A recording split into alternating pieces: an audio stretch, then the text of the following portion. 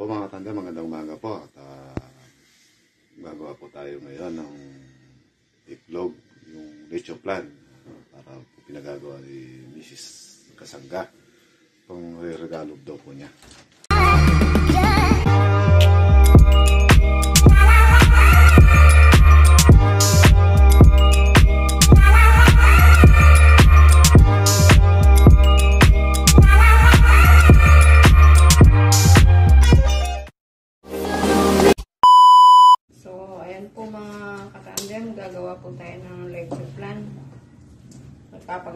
Si Mrs. Kasangga. Para regalo daw po.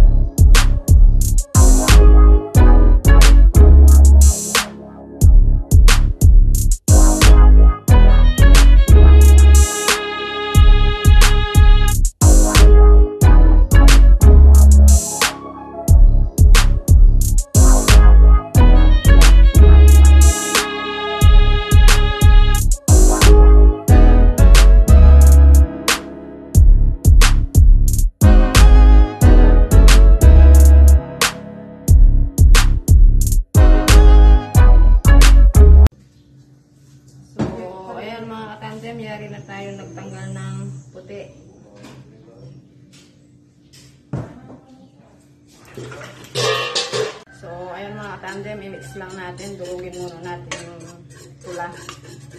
Pula ng itlog.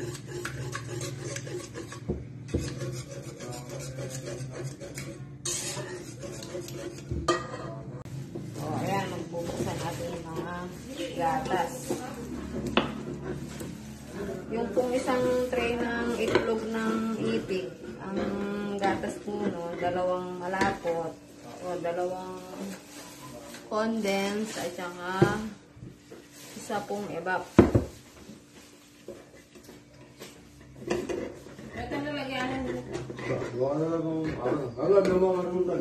So, ayan, bubuhos na natin yung gatas, mga katandem.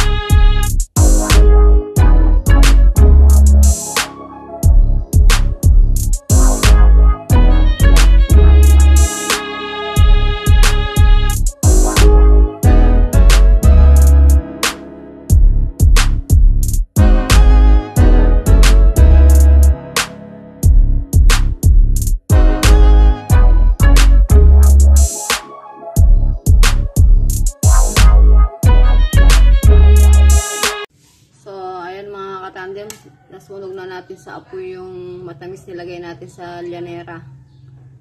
Yan.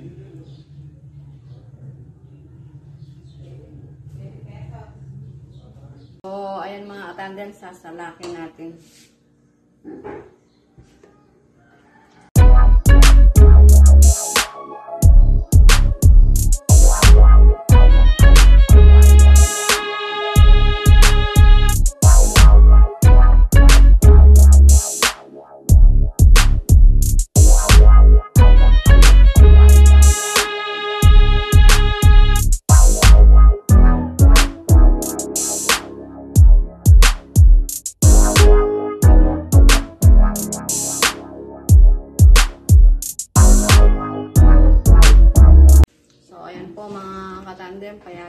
tayo magsalak. So, kaya rin po nito lalagay na natin sa lyanera.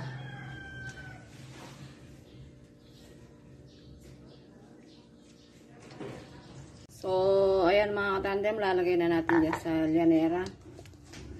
Ayan yung pantakal natin.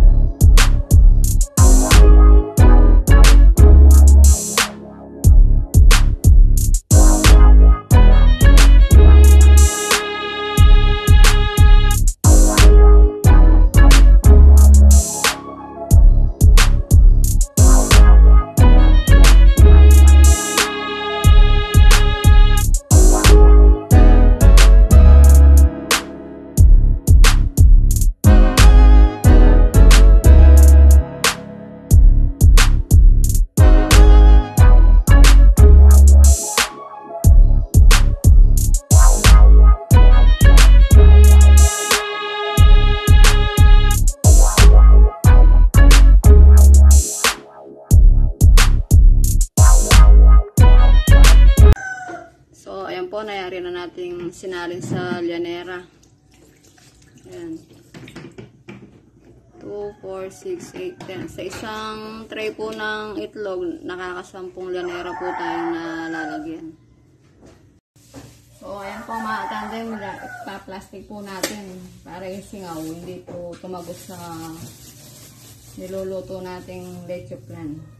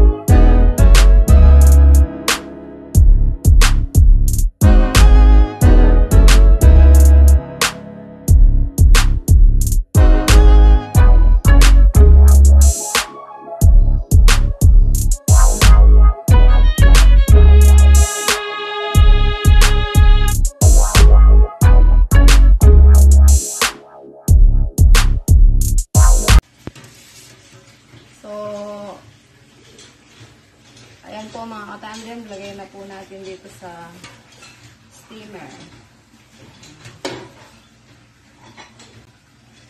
Isang salang lang po to. So,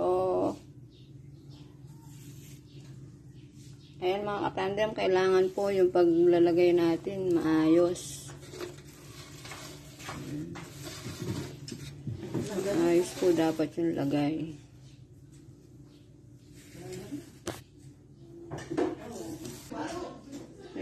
Yari na natin pong naisalansan.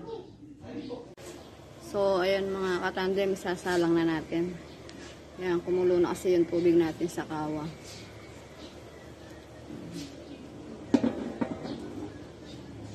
So, ayan mga katandem, maghintay lang tayo ng oras. 3 to 4 na oras ang pagluluto po ng lecture plan.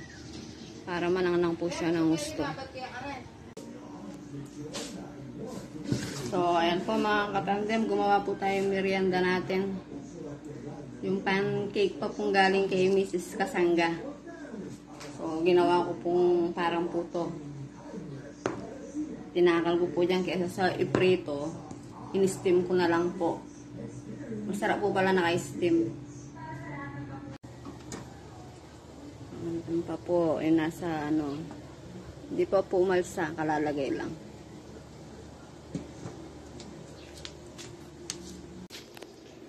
So, ayan mga katandem, luto na po yung niluluto nating leche plan.